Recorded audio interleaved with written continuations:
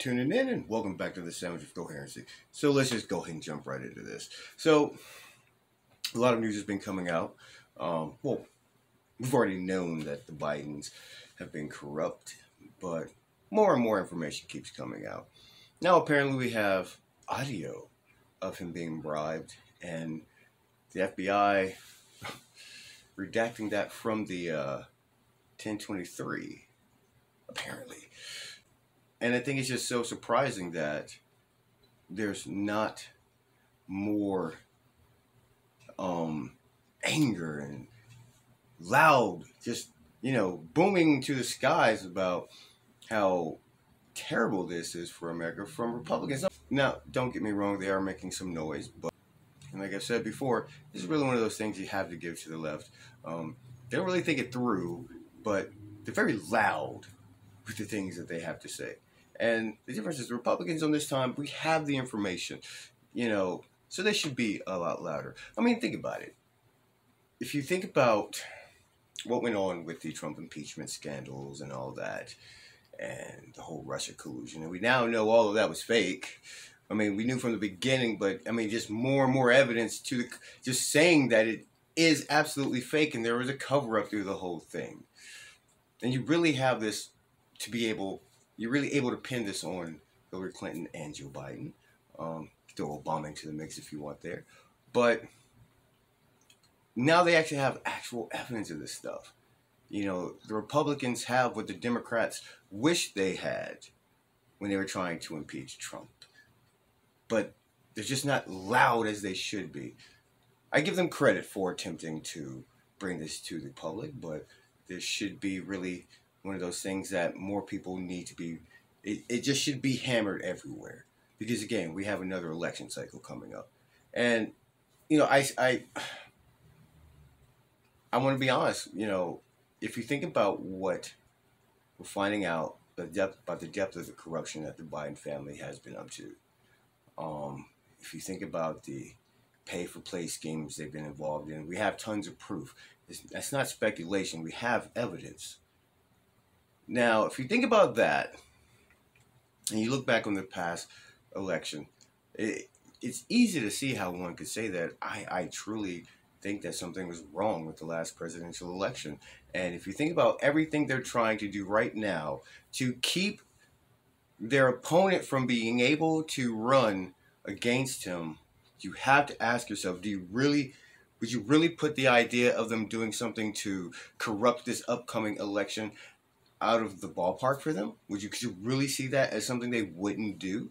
Because I don't see it as being far fetched. I at this rate, the way they're going, this is something I totally believe that they would do, and there really will need to be more. Um, what's the word I'm looking for? Hmm.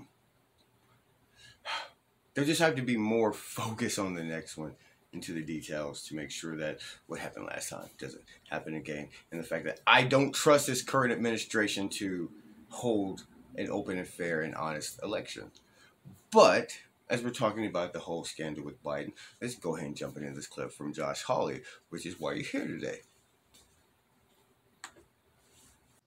Thank you, Mr. Chairman. Mr. Abbate, let me just stay with you. You just started to answer Senator Blackburn's question that not releasing the 1023 or talking about it as a matter of life and death, question of life and death, you said. Explain. It is potentially a question of life and death For with- whom? with regard to the source of the information.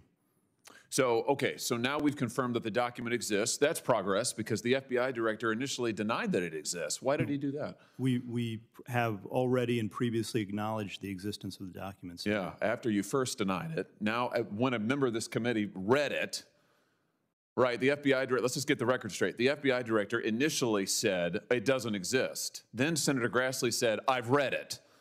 Then he said, oh, okay, well, gotcha. I guess it does exist. Let me pause right there. You know, as this continues to go on, and as more and more information keeps coming out, we what we already knew becomes even more solidified, but it's worse than we actually believed.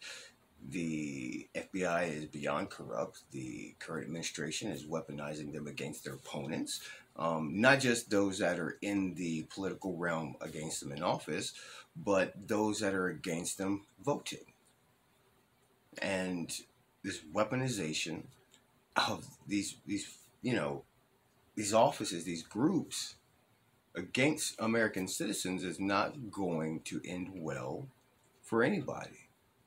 And this is why I'm saying you can't believe that the next election is going to be fair play.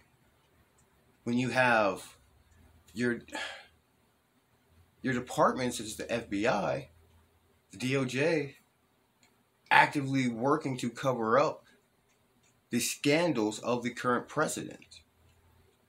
If the shoe was on the other foot and this was stuff about Trump, there would be no hesitation. You would not, you couldn't go a day without hearing about it. But let's continue.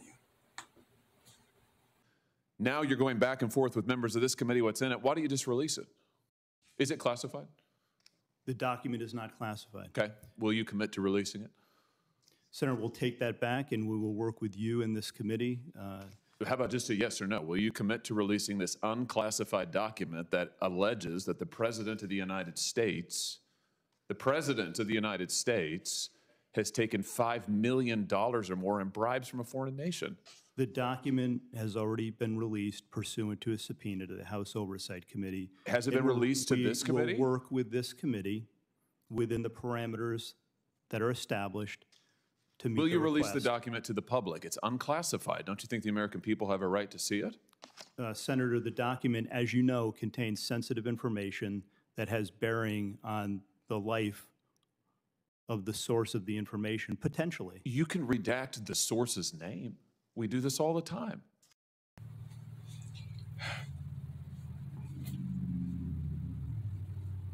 They're worried about the life of the informant. Not worried about the life of the. It's not. They're not worried about it coming from the people on the right. You got to. Who are they worried about this act of violence coming from? Somebody attempting to protect Joe Biden? Well, I mean, hmm, hmm. I I don't know. In some instances, Senator, and I know you know this, that is not sufficient to protect people. And that's what we strive and work to do each and every day, and I hope you would take that seriously, too. Oh, I take it very seriously.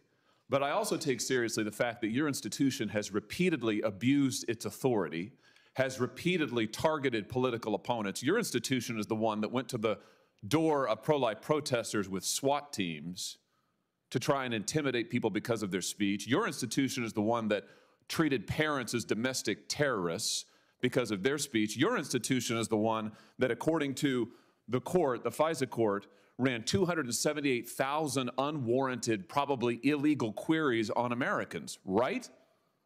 That was your institution, correct?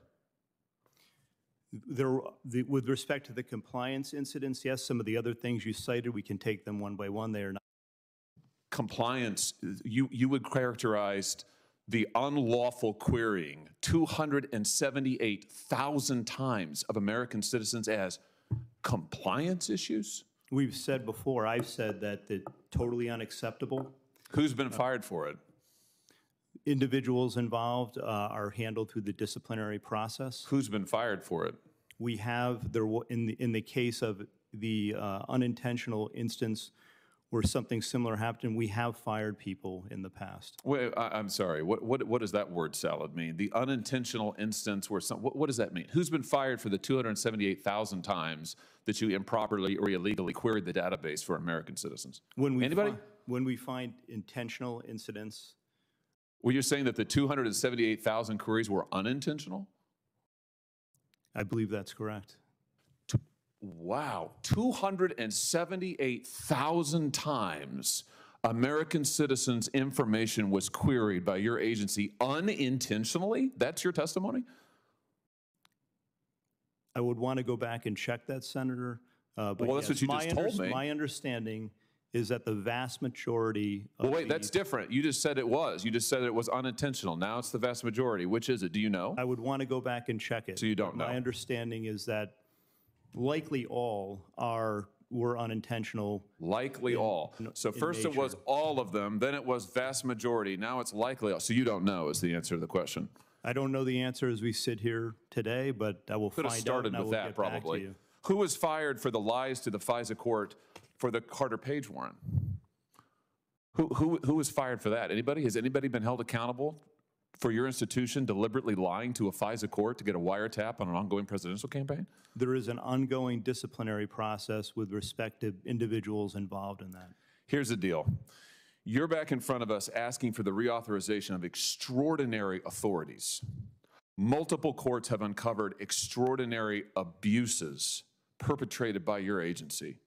You are at the same time concealing information about serious allegations made against the President of the United States, even as your institution also targets his chief political opponent in an unprecedented way. Why would we ever give you the blank check that you want to continue surveilling American citizens in an improper manner? Why would we ever do that?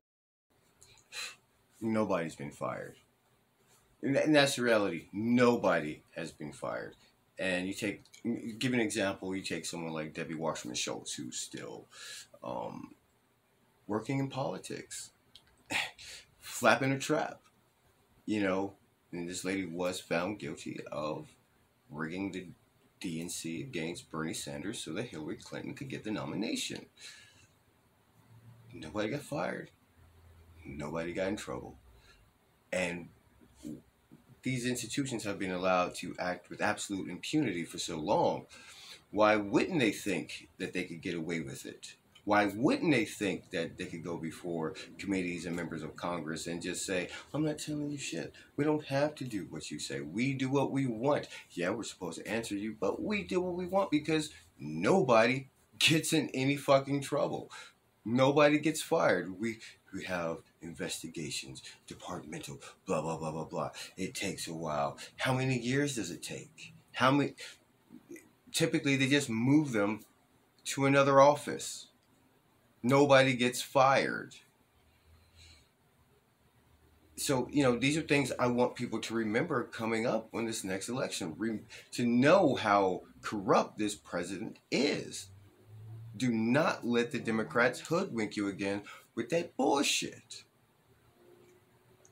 I'm here to make sure that we all get to hear what's really going on and at least have a chance to, you know, think about it for ourselves. So, but again, like I say all the time, we'll see what happens and we'll keep our fingers crossed. But I thank you for tuning in and we'll catch you next time.